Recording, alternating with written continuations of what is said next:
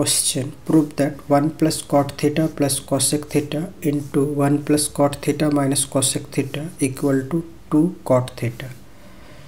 so here LHS is equal to 1 plus cot theta plus cosec theta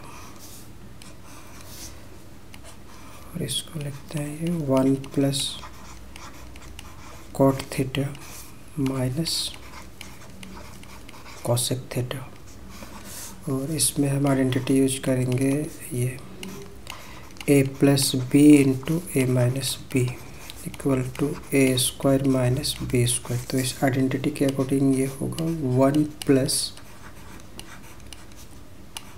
cot theta whole square minus cosec theta whole square so equal to और इसमें A plus B whole square का identity use करेंगे तो ये होगा one square plus two cot theta plus cot square theta minus cosec square theta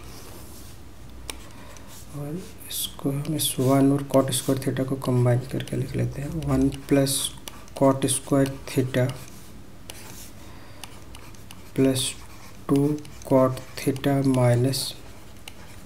cosec square theta. And we know that 1 plus cot square theta equal to cosec square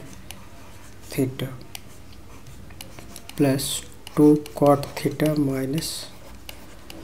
cosec square theta. So here cosec square theta cosec square theta cancel. So equal to 2 cot theta equal to RHS hence proved